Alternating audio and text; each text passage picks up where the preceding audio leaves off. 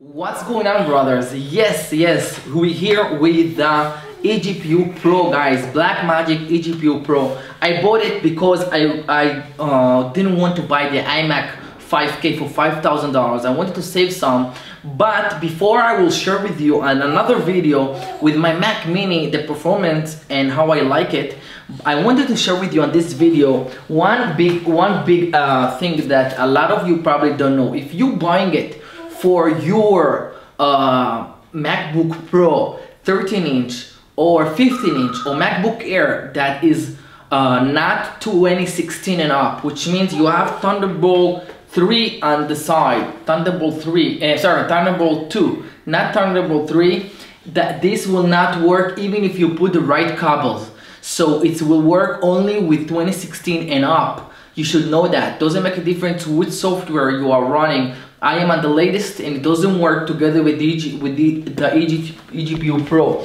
I want to share with you that this is the eGPU Pro and not the eGPU, the normal version. So as you know guys from other videos on YouTube, when you have the eGPU Pro, you have HDMI and the HDMI, the big HDMI. So once you have this setup with another two over here, you know this is the eGPU Pro. So guys, this will not work with any of MacBook Pro, MacBook Airs, uh, oldest, uh, I mean, under 2016. I hope you found this video uh, helpful.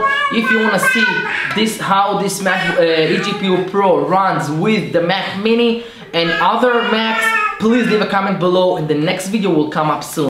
See you soon. Bye.